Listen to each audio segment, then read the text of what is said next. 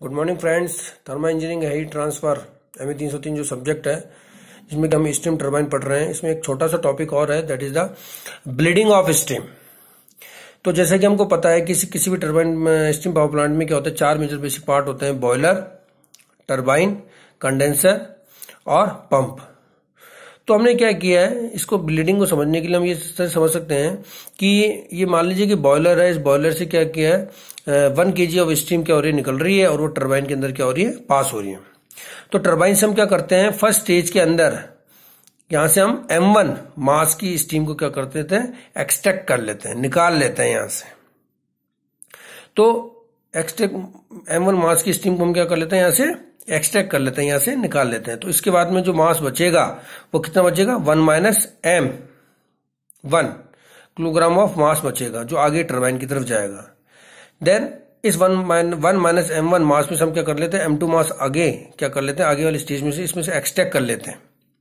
तो इसमें से स्टीम में से टर्बाइन में से कितना स्टीम पास हो गया? One minus M one minus M two तो हमने बेसिकली क्या किया कि बॉयलर से जो स्टीम आ रही है, कितने किलोग्राम आ रही है? वन किलोग्राम मान लीजिए स्टीम आ रही है, जो कि टर्बाइन से पास होगी। तो उसको हमने क्या कर लिया? डिफरेंट स्टेजेस के अंदर से एक्सट्रैक्ट कर लिया, निकाल लिया। तो फ़र्स्ट स्टेज में से हमने क्या कर लिया? इसमें एक्सट्रैक्ट कर लिया कितना? एम वन मास कर लिया। तो बाकी कितना बचेगा? One minus M one. One minus M one आगे पास हुई, फिर उसमें हमने क्या कर लिया? M two mass. M two के जी मास क्या कर लिया? एक्स्ट्रा कर लिया। तो कितना बचेगा? One minus M one minus M two mass extra कर लिया। मतलब one minus M one minus M two क्या होगी? इसमें से पास होगी। तो जो एम वन मास की जो स्टीम निकली थी, उसकी एंथैल्पी कितनी है? मान लीजिए एच वन है। और जो एम टू मास जो निकला था स्टीम का उसकी एंथैल्पी मान लीजिए कितनी एच टू है। ओके देन इसके बाद में जो स्टीम पास हुई one minus M one minus M two उसकी मान लीजिए कि एंथेल्पी कितनी है? एच थ्री है और इनिशियल एंथेल्पी कितनी थी? उसकी एच थ्री तो जो टर्बाइन से जो स्टीम पास हो रही है फाइनली कितनी हो रही है? One minus M one minus M two जिसके एंथैल्पी एच थ्री है, इसको क्या होगा? कंडेंसर से पास किया जाएगा। तो कंडेंसर से पास होने के बाद में ये किसमें कन्वर्ट हो जाएगी? लिक्विड के अंदर कन्वर्ट हो जाएगी। और इसके अंदर जो सेंसिबल हीट बचेगी, क्योंकि लेटेंट हीट तो इसकी यूटिलाइज हो गई इसको कन्वर्ट करने के अंदर स्टीम को लिक्विड के अंदर कन्वर्ट करने के लिए। तो इसमें सेंसिबल हीट जो बचेगी, कितनी बचेगी? मान लेते हैं वो कितनी है? एच एफ़ थ्री है। एच एफ़ थ्री है। अब इसको क्या करते हैं? पंप के थ्रू क्या करते हैं? आगे पास करते हैं। तो एच एफ़ थ्री जो इसमें स्टीम जो ये ये एच एफ़ थ्री जो इसके अंदर से लिक्विड हो रहा है, उसकी एंथैल्पी कितनी है? सेंसिबल हीट उसके पास कितनी है? एच एफ़ थ्री है। तो उसको हम क्या करते हैं? इस लिक्विड को हम क्या करते हैं? एक हीटर से पास करते हैं। इस हीटर में क्या हो रहा है? एक तो टर्बाइन से एक्सट्रैक्ट की गई एम टू किलोग्राम की स्टीम आ रही है, दूसरा यहाँ से पास होने वाला जो लिक्विड है कंडेंसर से पास होने वाला जो लिक्विड है, जिसकी सेंसिबल हीट कितनी एच एफ़ थ्री है, वो इसमें से पास हो रहा है। तो इस हीटर में से एक तो एक तो लिक्विड पास हो रहा है, जिसकी sensible heat H F three है, और स्टीम पास हो रही है, जिसकी एंथैल्पी कितनी है एच टू है। तो उसकी वजह से पानी क्या हो जाता है, ये लिक्विड क्या हो जाता है, गर्म हो जाता है। वो गर्म होने के बाद में इसको पास हो गया, उसकी जो पास होने के बाद में इस पर्टिकुलर स्टेज में जो लिक्विड है, उसकी जो सेंसिबल हीट है, वो कितनी एच एफ़ टू है। अब ये एच वाला जो लिक्विड है, वो किससे पास हो रहा है? एक अनोदर हीटर से पास हो रहा है। जिसमें कि क्या हो रही है? स्टीम आ रही है, जो कि इस टर्बाइन से एक्सट्रैक्ट होकर के आ रही है। उसमें कितना मास आ रहा है? स्टीम का एम वन मास आ रहा है और एंथैल्पी कितनी एच वन है। तो ये स्टीम जो आ रही है, जिसका मास एम वन है एंथैल्पी एच वन है, और यहाँ से क्या आ रहा है? लिक्विड आ रहा है, जिसकी की सेंसिबल हीट कितनी है? एच एफ़ टू है। तो इसके कॉन्टेक्ट में आने से इसकी वापिस क्या हो जाती है? सेंसिबल हीट बढ़ जाती है और कितनी हो जाती है? एच एफ़ वन हो जाती है। तो हमने क्या किया? कंडेंसर से जो पास होने वाला कंडेंसर से क्या हुआ था? लिक्विड पास हुआ था, जिसकी एंथेल्पी कितनी थी? सेंसिबल हीट कितनी थी? एच एफ़ थ्री थी। एच एफ़ थ्री थी। उसको हमने फ़र्स्ट हीटर से पास किया। उसमें क्या हुआ? स्टीम जो आ रही थी टर्बाइन से जिसकी एंथैल्पी एस टू थी और मास एम टू था, उसकी वजह से इसकी सेंसिबल हीट बढ़कर कितनी हो गई? एच एफ़ टू हो गई। फिर एच एफ़ टू वाले लिक्विड को हमने अनोदर हीटर से पास किया, जिसमें कि एम वन और एच वन एंथल्पी वाली स्टीम आ रही थी टर्बाइन से जिसकी वजह से इसकी वापिस सेंसिबल हीट बढ़ गई कितनी हो गई? एच एफ़ वन हो गई। इस एच एफ़ वन वाली सेंसिबल हीट वाली क्या करते हैं? लिक्विड को हम क्या करते हैं? पंप के थ्रू वापस बॉयलर में प्रोवाइड करते हैं। तो इससे क्या हुआ? इस पूरे प्रोसेस से क्या हुआ? दो हीटर हमने यूज़ कर लिए। उन दोनों हीटर के अंदर हमने क्या कर लिया कि जो पानी पास हो रहा था कंडेंस जो लिक्विड पास हो रहा था, उसका टेम्परेचर हमने बढ़ा दिया। कैसे बढ़ा दिया? टर्बाइन से हमने स्टीम एक्सट्रैक्ट करके।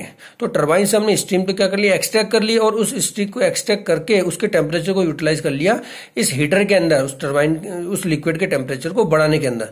तब लिक्विड का टेम्परेचर क्या हो गया? बढ़ गया। तो बॉयलर के अंदर क्या होता है? बॉयलर के अंदर जो वाटर होता है, वो स्टीम में कन्वर्ट होता है। तो यहाँ पर हमको क्या करना पड़ेगा? उस पर्टिकुलर वाटर को अब लेस हीट देना पड़ेगा to convert the steam steam में कन्वर्ट करने के लिए उस पानी को हमको क्या करना पड़ेगा? लेस हीट देना पड़ेगा। तो बॉयलर के अंदर जो हीट सप्लाई हो गई, वो क्या हो गई? सेव हो गई। तो इस तरह से हमने क्या किया? टर्बाइन से स्टीम एक्सट्रैक्ट करके ब्लीड करके, हमने क्या कर दिया ब्लीडिंग कर दी। एक तरह ब्लीडिंग ऑफ़ स्टीम कर दी। उसकी वजह से क्या कर दिया हमने? कंडेंस जो वाटर था, उसका टेम्परेचर क्या कर दिया हमने? बढ़ा दिया। सेंसिबिलिटी उसकी बढ़ा दी। उसकी वजह से क्या हो गया? बॉयलर के अंदर हमको हीट सप्लाई क्या करनी पड़ी? कम देनी पड़ी। तो जैसे कि हम जानते हैं कि नेट जो हीट सप्लाइड होती है, वो कितनी होती है? Work done divided by heat supply तो अब हम क्या करते हैं? वर्कडन देखते हैं कहाँ कहाँ पर कैसे कैसे वर्कडन हुआ। वर्कडन अगर हम देखें तो यहाँ पर वन के जी ऑफ़ मास जो जा रहा था, जिसकी एंथैल्पी कितनी थी? एस थी। उसमें से सबसे पहले हमने क्या कर लिया बी वन पर क्या कर लिया स्टीम एक्सट्रैक्ट कर ली कितनी? एम वन और जिसकी एंथैल्पी कितनी थी? एच वन तो सबसे पहले हमको ए से लेकर के बी वन तक आउटपुट मिला कितना? एंथेल्पी ड्रॉप कितना H minus H one H minus H one हुआ और कितने मास के लिए? वन किलोग्राम मास के लिए। तो one into H minus H one ये इसके लिए क्या हो गया? वर्कडन हो गया इस पर्टिकुलर स्टेज के लिए। देन आगे कितनी स्ट्रीम पास हुई? एम वन तो यहाँ चली गई वन आ रही थी एम वन यहाँ चली गई तो बाकी स्टीम कितनी बची? वन माइनस एम वन तो वन माइनस एम वन जो स्टीम वन माइनस जो एम वन स्टीम है, उसमें कितना एंथैल्पी ड्रॉप हुआ? या एच वन था या एंथैल्पी ड्रॉप हो गया एच टू तो H one minus H two हो गया एंथैल्पी ड्रॉप तो मास तो कितना हो गया?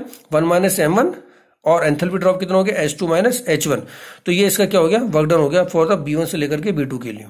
इसके बाद में बी टू के बाद में कितनी स्टीम बाहर गई? One minus M one minus M two और उसका एंथैल्पी ड्रॉप कितना हो गया? S three minus S two तो वर्क डन कितना हो गया? One minus M one minus M two bracket S three minus S two तो हमने क्या किया? जो वन किलोग्राम ऑफ़ स्टीम जो इस टर्बाइन के अंदर आ रही थी, उसका डिफरेंट स्टेजेस के लिए वर्क डन कैलकुलेट कर लिया। फॉर ए बी वन के लिए हमने निकाल लिया।